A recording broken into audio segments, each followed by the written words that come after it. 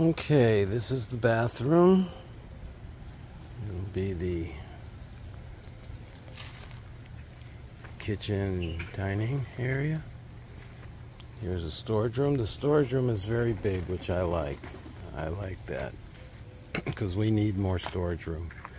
This is where the entrance is going to be coming off of the side and going up and see how far they've got with the foundation.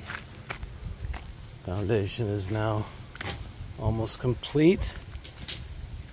And it'll this will be the first level of the floor right there. And it goes up a little bit from there. And this will be a, a sanitary drain.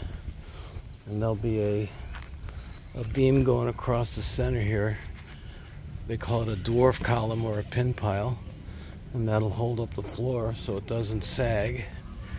We'll be putting some more uh, foundation over here in the corner for the uh, for the oven because that's going to be very heavy as well. And then I'd like for a frame to clear out this corner here. And we're going to make this like a, a nice garden area so people can look at it this way.